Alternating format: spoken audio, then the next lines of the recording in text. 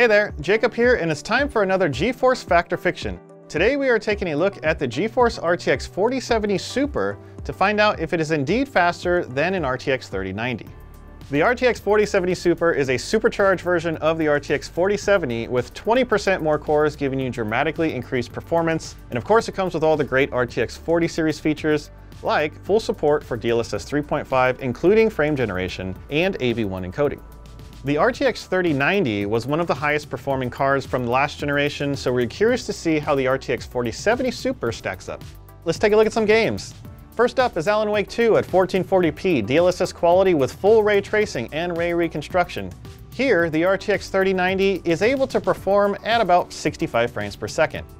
When we move over to the RTX 4070 Super with frame generation, we are up to 95 frames per second. In fact, the RTX 4070 Super is still a bit faster than the RTX 3090, even with frame generation off. Next up is Cyberpunk 2077 Phantom Liberty with ray tracing overdrive mode, DLSS super resolution, and ray reconstruction. The RTX 3090 puts out an average of 42 frames per second. When swapping in the RTX 4070 Super, we are consistently hitting almost 80 frames per second with frame generation. And once again, we are still faster even with frame generation off. And here is another game. This is Hitman World of Assassination. At maximum in-game settings, the RTX 3090 can do 70 frames per second. When we put in the RTX 4070 Super, with frame generation, we are over 105 frames per second, a massive increase. In fact, when we look at the relative performance across 18 graphically demanding games, the RTX 4070 Super is faster than the RTX 3090 in nearly all situations, and when we turn on DLSS 3 frame generation, the performance really amps up with the RTX 4070 Super being much faster.